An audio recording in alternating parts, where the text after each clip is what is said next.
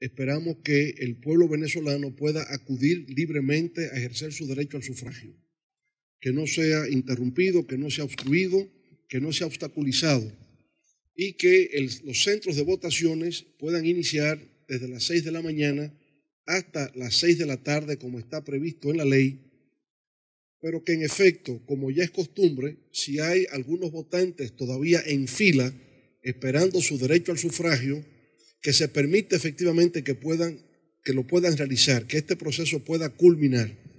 De manera que si bien es cierto que el centro de votación cierra a las seis, hay que concederle el derecho a los sufragantes que aún están en línea de poder ejercer su derecho al voto. Eh, hacemos un llamado particular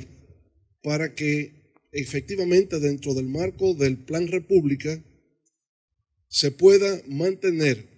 a las personas que nada tienen que ver con los centros de votación, estén a pie